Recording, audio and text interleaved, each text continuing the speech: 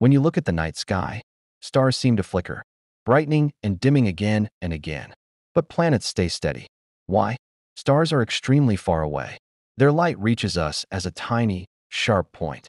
As it travels through Earth's atmosphere, it passes through layers of moving air, each with different temperatures and densities.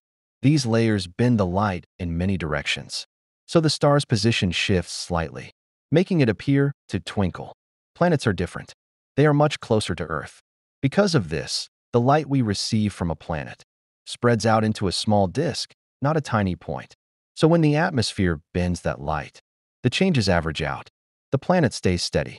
No flicker, no twinkle. The twinkling of stars is not a cosmic effect. It's our atmosphere distorting the light before it reaches our eyes. If you enjoy learning how the universe works, subscribe for the next video and comment your next question. I'll make a video on it.